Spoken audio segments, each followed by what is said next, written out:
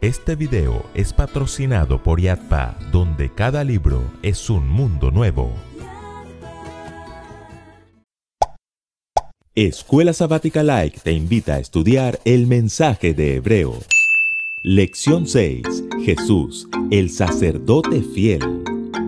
Alex, el hijo del alcalde, estaba revisando las cartas que llegaron al despacho de su padre cuando se encontró con una bien interesante.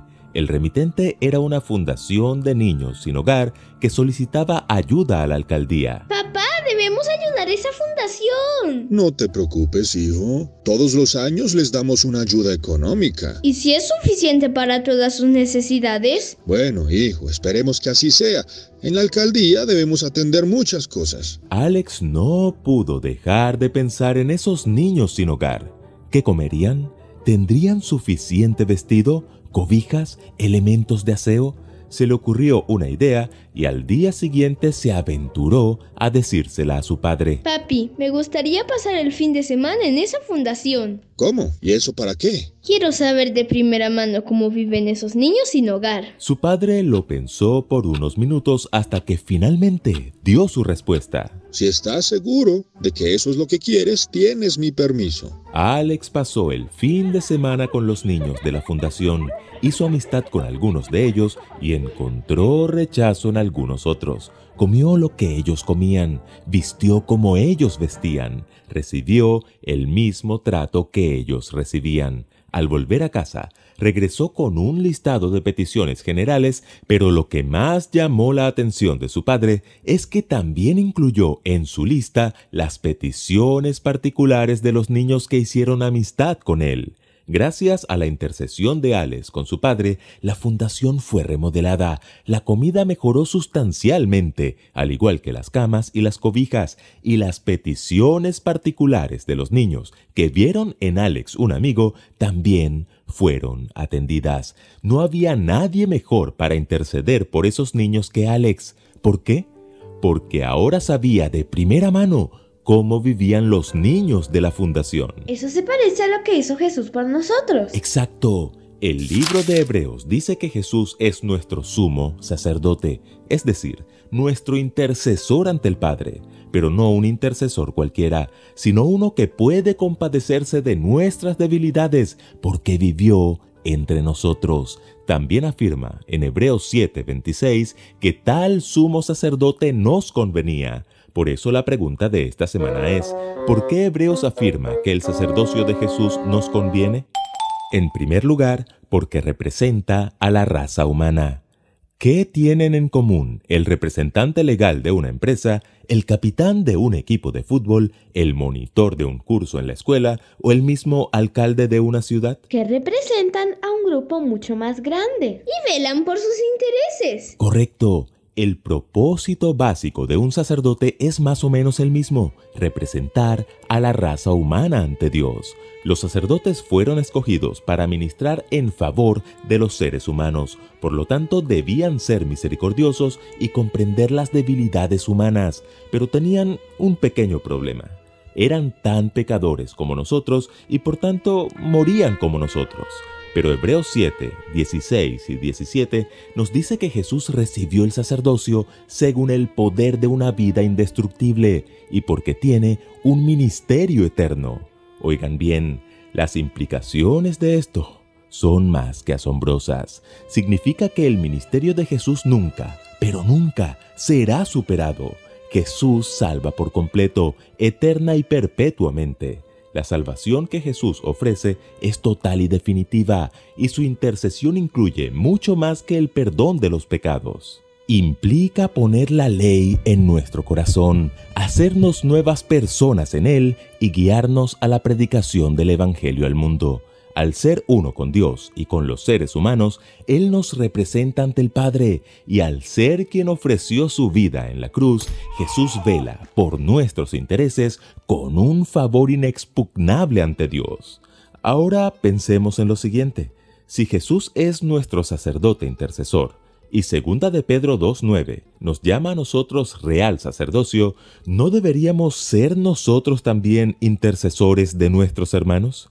Dios no nos llamó a ser hermanos destructores, difamadores, ni aniquiladores. Dios nos llamó a ser como Jesús, hermanos intercesores. En segundo lugar, porque su linaje es superior. ¿Recuerdan cuál era el linaje de los sacerdotes en el pueblo de Israel? Eran de la tribu de Leví, según el orden de Aarón, el hermano de Moisés. Correcto. Eso significa que solo la descendencia de Aarón podía ejercer el ministerio sacerdotal. Pero el autor de Hebreos genera un choque de neuronas con una pregunta. Si pues la perfección fuera por el sacerdocio de los levitas, ¿qué necesidad habría aún de que se levantase otro sacerdote según el orden de Melquisedec y que no fuese llamado según el orden de Aarón? Oigan bien, es muy interesante que Jesús, nuestro sumo sacerdote, no haya nacido de la tribu de Leví, es decir, no era del linaje de Aarón. Jesús, humanamente hablando, ¿de qué tribu nació? De la tribu de Judá. Por eso en la Biblia se le llama león de Judá. Exacto, pero Pablo tampoco menciona que pertenezca al orden de esa tribu. Dice que Jesús es sacerdote según el orden de Melquisedec. Recordemos quién era este personaje. Abraham regresaba de una batalla en la cual había liberado a su sobrino Lot del poder de Kedorlaomer y sus aliados, cuando Melquisedec, el rey de Salem, que también era sacerdote del Dios Altísimo, salió a bendecir a Abraham, y Abraham le dio los diezmos de todo lo que había obtenido. El Antiguo Testamento solo hace una mención más de Melquisedec en Salmo 110.4, cuando dice, Tú eres sacerdote para siempre, según el orden de Melquisedec. A partir de este texto, Pablo afirma que Melquisedec es semejante al Hijo de Dios. ¿Lo notan? Melquisedec no era Jesús, era un tipo, un símbolo de Jesús. Melquisedec era rey sacerdote con minúscula de Salem. Jesús es rey sacerdote con mayúscula de la humanidad. Aunque Jesús es nuestro representante ante el Padre, aunque se encarnó por amor, aunque participó del imperfecto linaje humano, proviene del linaje de Dios porque Él es Dios. Y en tercer lugar, porque es un sacerdote perfecto. Como decíamos, los sacerdotes levitas no podían ofrecer una intercesión perfecta porque no eran perfectos. ¿Y qué decir de los animales que ofrecían?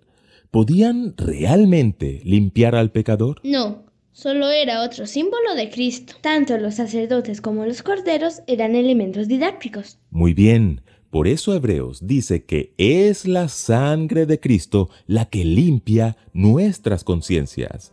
Por eso Hebreos 7:26 nos dice que tal sumo sacerdote nos convenía, santo, inocente, sin mancha, apartado de los pecadores y hecho más sublime que los cielos. Jesús era santo. Esto significa que Jesús estaba libre de culpa en su relación con Dios, inocente, porque busca el bien de unos pobres pecadores sin deseos de venganza ni buscar el mal de nadie.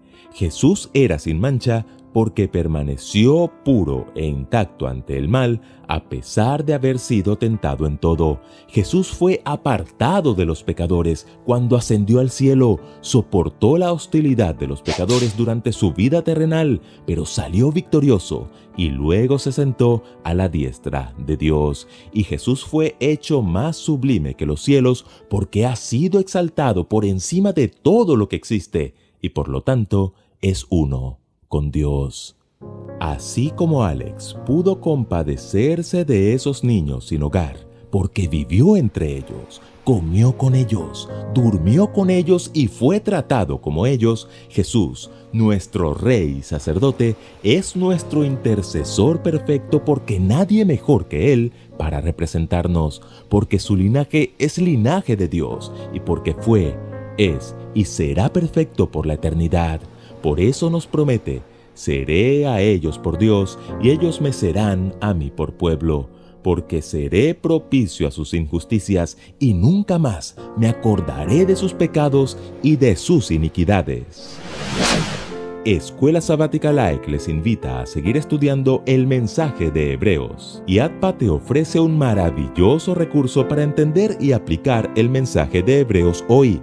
Gracia para el oportuno socorro de William G. Johnson. Consíguelo en tu librería YATPA. Suscríbete y comparte. Recuerden que juntos podemos crecer más.